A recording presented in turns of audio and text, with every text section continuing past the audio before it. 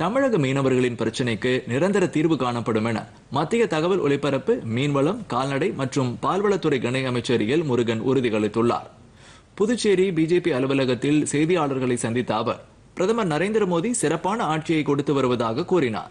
இதுவரை இல்லாத அளவிற்கு மீனவர்களுக்கென்று தனி அமைச்சகம் அமைக்கப்பட்டுள்ளதாக கூறிய எல். முருகன் இதன் மூலம் மீன்வளம் துறைமுகம் கடல்பாசி இறால் ஏற்றுமதி ஆகியவை திறம்பட செய்ய முடியும் என குறிப்பிட்டார்.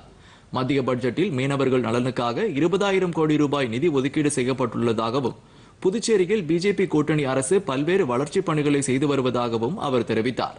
கடந்த இரண்டாயிரத்தி பதினான்காம் ஆண்டுக்கு பிறகு தமிழக மீனவர்கள் மீது துப்பாக்கிச்சூடு சம்பவங்கள் எதுவும் நடைபெறவில்லை என்றும் மீனவர் பிரச்சினைக்கு நிரந்தர தீர்வு காண கூட்டுக்குழு அமைக்கப்பட்டு நடவடிக்கை எடுக்கப்பட்டு வருவதாகவும் அமைச்சர் எல் முருகன் கூறினார்.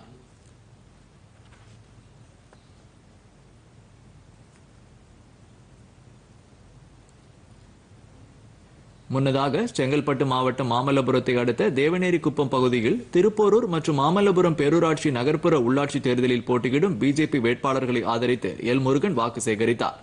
அப்போது பேசிய அவர் பிஜேபி வேட்பாளர்கள் அனைவரும் மத்திய அரசிடமிருந்து நேரடியாக மக்களுக்கு நலத்திட்ட உதவிகளை பெற்றுத்தரும் வாய்ப்புடையவர்கள் என கூறினார்.